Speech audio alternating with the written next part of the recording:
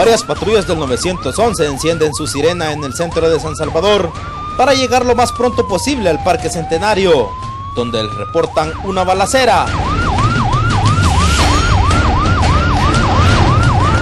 Al presentarnos al lugar, en exclusiva captamos a los comandos de salvamento, trasladando a esta dama, una de las víctimas del tiroteo.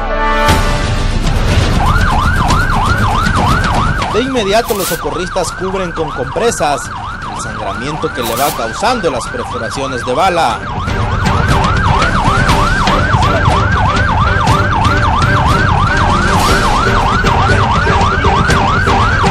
Presenta cuatro impactos de bala, uno lo que es en miembros inferiores y otro a nivel de abdomen. Pocos minutos han llegado hasta el Seguro Social, donde la víctima ya va un poco somnolienta.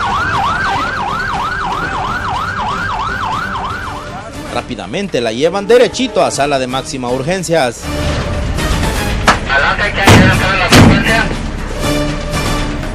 Mientras que en la escena ya se muerto Gilberto Sandoval Cardosa de 41 años. El ataque fue contra él, pero la mujer intentó evitarlo. Fue entonces que resultó lesionada. Ambos administraban este prostíbulo sobre la novena calle Oriente y 12 Avenida Norte. Al parecer un cliente con quien entablaron una fuerte discusión fue quien les dejó ir la descarga de plomo. Según este testigos eran dos, llegaron, este, se sentaron en la barra. Eh, no, al parecer como que había un descontento porque no estaban siendo bien atendidos, ¿verdad?